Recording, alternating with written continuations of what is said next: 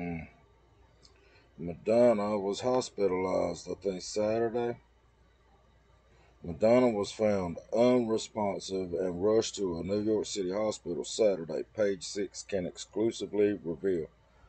We hear the material girl, 64, was intubated for at least one night before having the tube removed, and she is now alert and recovering. We also told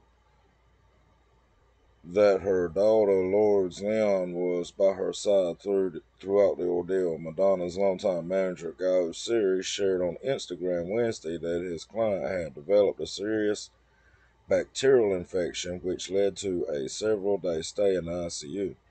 That's the same thing that happened to Adele. I wonder what that could be.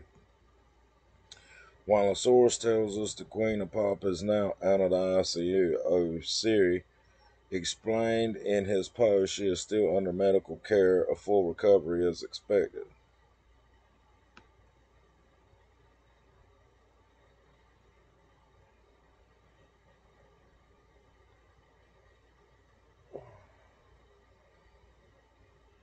Madonna's tour had been set to make its way across the pond to Europe on October 14 before returning to North America on December 13th and running through January 30, 2024.